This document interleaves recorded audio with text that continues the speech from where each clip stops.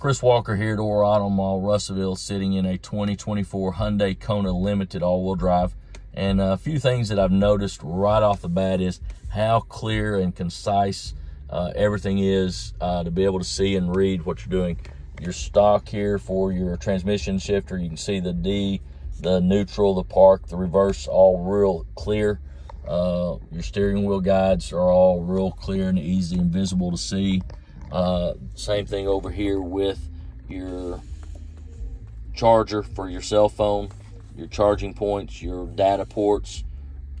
Down here for your heated seats, cooled seats, auto hold, your drive mode.